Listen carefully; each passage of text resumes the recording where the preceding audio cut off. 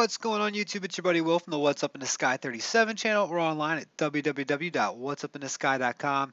And I'm not trying to do too many of these videos, um, but when I see something that's blatant out there that's getting a lot of press, just even in the alternative like media, and then all of a sudden I start getting emails about it. I've gotten so many emails about this floating rock, and when I first saw it, I recognized the area right away as being Dingo Gap, where we had uh, crossed through. Um, you know, a couple, gosh, it was probably six, seven months ago now. And I, I, I noticed this picture because we did extensive uh, videos on this area, and I knew there was no floating rocks in it. So I, I'm going to debunk this because it's basically light shadow trick, and it's pretty neat how this is done. Um, or how it looks, and this just goes to show us that not not what we see every time is not you know what we can see on an image is not always exactly as it is. So it really is uh, like I said, I hate being like the debunker or whatever, and that's not why you joined my channel. But you did join my channel, hopefully to get an honest opinion. And uh, I want what's up in the sky, you you know, 37 watchers to be on the end and know exactly what's going on, um, so you're not fooled by stuff. So basically, this took me a couple minutes just to find another image. I knew this was extensively imaged this area. Um, with the two rocks in it. So basically, what I did was that this is this wasn't a Mastcam shot, and uh, the Mastcam shots are a lot a lot more high resonant. So basically, let me get to it. Stop jabbing here. Um, here you go. Here's the one that's going around the internet. That it is a floating rock, and it sure does look like it's a floating rock.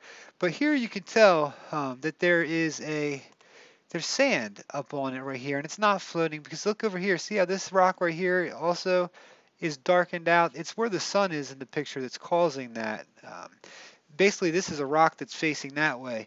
And over here, here's the rock with the same exact shape to it. Now you can see it, this is not floating above it. Um, and if, let's do this here. Let's let's uh, let's let's do it from the little piece here. Okay, so we've got.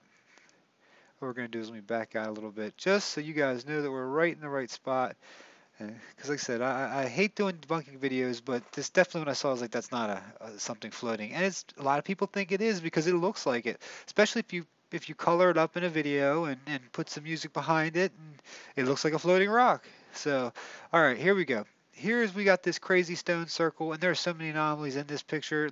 I've done videos on this area, amazing area. See, there it is right over there.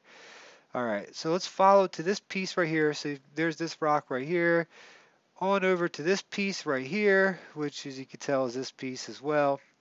Um, and then go from here over to here, which is this rock right here. And then from here on down to this rock, which is still dark. You can see it there.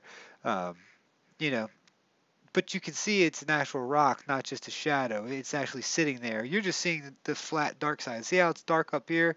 You get it's the same effect. And here's the rock that's in question, and you can see it's the same exact rock.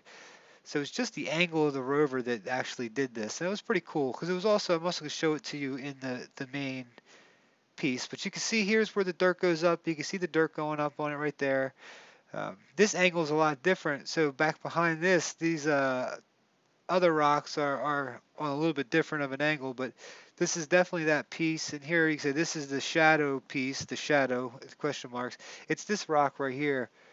Uh, not much more than that, guys. I mean, there it is. Uh, we said you can trace it back again yourself. It's not that best of quality, of course. They don't, you know, that's that's the the cams for you. We're, we have not been getting the best since like the uh, first couple hundred sols. They just haven't looked as good. And here it is again. This is the the uh, big shot they stuck out. This is a big mosaic.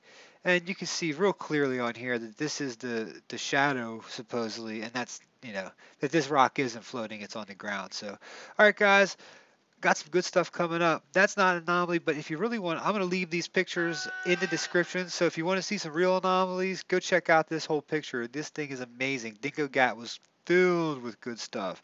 All right, guys, much love to you. Hope you're having a good one. Keeping it real, keeping everybody legit here. What's up in the sky 37? And I've even done this in some of my videos, so I'm not picking on anybody out there.